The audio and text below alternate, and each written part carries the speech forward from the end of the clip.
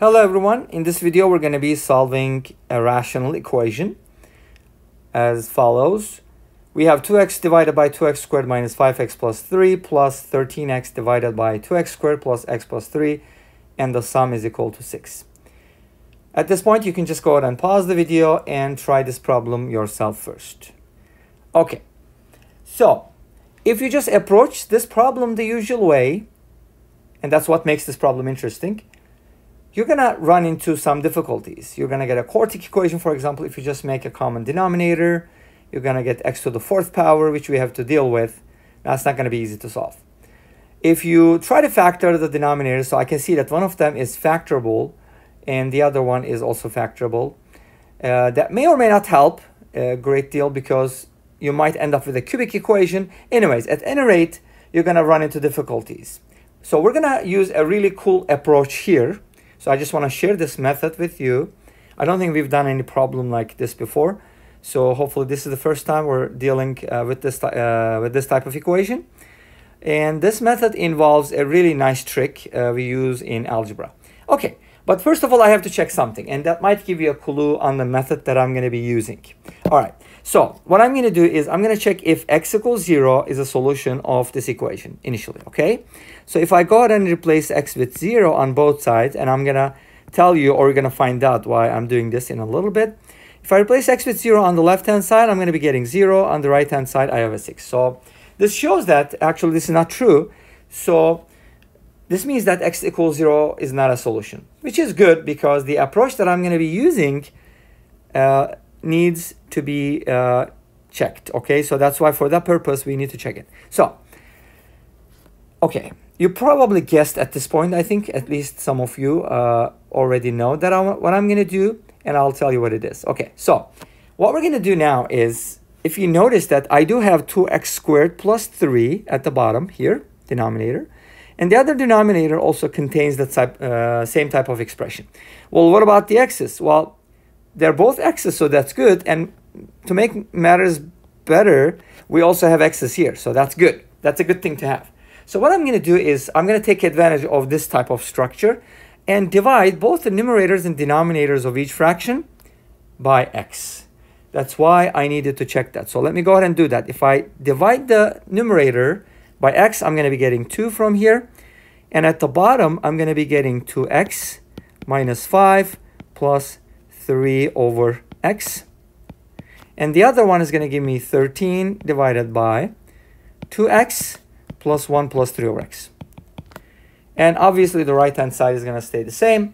Now the good thing about this is that, and the reason why we do this is because now we get a really nice expression. We do get the 2x plus 3 over x twice. So I can go ahead and use that as my substitution. So what I'm going to do now is I'm going to replace 2x plus 3 over x with another variable like u. As you know, I like u substitution. And it doesn't have to be an integral to use the u substitution. Right? It can be an algebra problem. Okay, so we're going to use u substitution. If you do that, we're going to be getting 2 over u minus 5 plus 13 over u plus 1.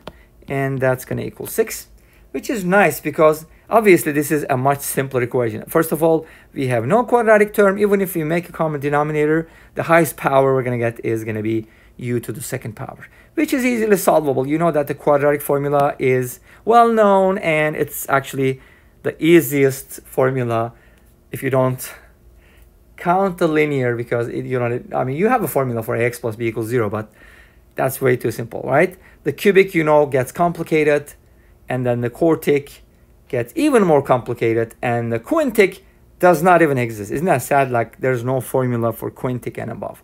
Anyways, that's another story. Let's go ahead and solve this problem. So I'm going to make a common denominator here. Let's go ahead and do that. Multiply the 2 by u plus 1. Multiply the 3 by u minus 5. Oopsies, that's a 13. And then obviously when I'm going to get a denominator here, which is u minus 5 times u plus 1. I Actually, I think uh, I could probably just go ahead and um, multiply those out in the meantime. So we'll save a step maybe. u squared minus 4u minus 5, and that's going to equal 6. Obviously, what I need to do now is simplify the numerator 2u plus 2, It's like 2u, you know the birthday song. Okay, plus 13u minus 65, and that is equal. To, now I'm going to go ahead and distribute the 6. 6u squared minus 24u minus 30. Okay? Now, we have u squared on the right hand side. So let's go ahead and put everything on the right hand side on the left hand side and everything on the left hand side on the right hand side and simplify the right hand side when it becomes, I mean, when the left hand side when it becomes the right hand side. Anyways, I hope you got what I said. 6u squared minus 24u minus 30. I'm going to put that on the left. And the right hand side, the new right hand side is going to be simplified as 15u minus 63. Then I'm going to put everything on the left hand side because we write from left to right. Well, at least some of us do, right? Some languages you write from right to left. No offense. So I'm going to put everything on the left-hand side. 6u squared minus 24u minus 15. That's going to give me minus 39u. Negative 30 plus 63, that's going to make a positive 33. And obviously, we can divide everything by 3, which is a good thing to do. Let's go ahead and do that. And we're going to get a much nicer equation. Awesome. Now, what makes this equation even nicer is that not only is it quadratic, but it's also factorable. How do I know that? Well, if you look at the equation carefully, you know how they say after careful inspection or quick inspection shows you that u equals 1 is a solution. And why is that happening? Because if you look at the sum of the coefficients, what is the sum of the coefficients of a polynomial p of x? The sum of the coefficients is p of 1. So if you replace u with 1 here, then I could probably just call that pu, but anyways. It, you're going to get 0, right? If you replace u with 1, which means u minus 1 is a factor because u equals 1 is a solution. While the other factor is very easy to form because you have the first and last term, so you can just go ahead and the eraser is acting up. To you, happy birthday to you. Okay, that's a 2u minus 11 because I do need a constant term of positive 11. Okay, so that's equal to 0. Now, the rest is cool, don't you think? Well, I do have my substitution formula here, so let me go ahead and use that. Well, u is going to equal 1, right? So we from here we get that u is equal to 1, and that's going to be 2x plus 3 over x. So let me go ahead and uh, multiply everything by x. This is going to give me x equals 2x squared plus 3. If I put everything on the same side, I'll get 2x squared minus x plus 3, unfortunately, equals 0. And why did I say unfortunately? because this equation has no real solution. How do I know that? Well, I checked the discriminant real quick. B squared minus 4ac, unfortunately, is less than 0. So no real solutions from here.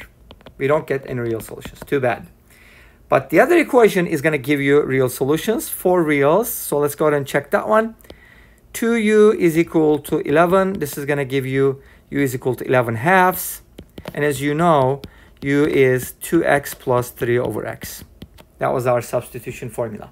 Now let's go ahead and multiply everything by, I think uh, this, at this point you want to get rid of the fraction. So I want to multiply everything by 2x. Let me go ahead and do this, like show my work. Uh, you know how teachers say, like show your work, show your work. Okay, so we'll, we'll show our work here. I'll multiply everything by 2x, and then something nice is going to happen. Okay, the world is going to be a better place. 11x hopefully equals 4x squared. I'm hoping that we're going to get over this virus situation and everything will be better anytime soon. Okay, so let's put everything on the same side. 4x squared minus 11x plus 6 is equal to 0.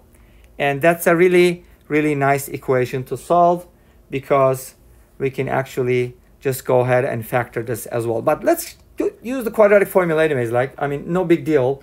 We can always use it, right? I mean, if you don't want to deal with factoring, there's an x method. You can multiply 4 times 6. That's a 24. You put it on top, so on and so forth. There's a story behind it, which maybe I can cover in another video later. Anyways, I'll use the quadratic formula. Uh, negative b plus minus the square root of b squared minus 4 times 4 times 6. Okay, so hopefully, since I said that this equation is factorable, I should be getting something nice from here. And I do. If you subtract, uh, if you multiply 4 times 4 times 6, you get 96. 121 minus 96 is equal to 25, and the square root of 25 is equal to 5. So from here, you get x equals 11 plus 5 over 8, and x equals 11 minus 5 over 8. And what does that mean, or what is that supposed to mean? Well, it means that the, the first solution is 16 divided by 8, which is equal to 2. So that's my x1, and my x2 is going to be 3 over 8. So those are the equations. I'm sorry, it's not 3 over 8. It's 6 over 8. My bad. Let's go ahead and fix that. So it should be 6 over 8, which is equal to 3 over 4. So those are my solutions. Now, you may want to check, like plug it in, but it shouldn't be a problem because we already checked that x equals 0 is not a problem. We didn't square anything. There's no x on the right-hand side, so everything should look good. We have two solutions, and these are the real solutions to our equation. I hope you enjoyed the video. Thank you for watching. Don't forget to comment, like, and subscribe if you haven't done so already. And see you in the next video. Until then, take care. Bye-bye.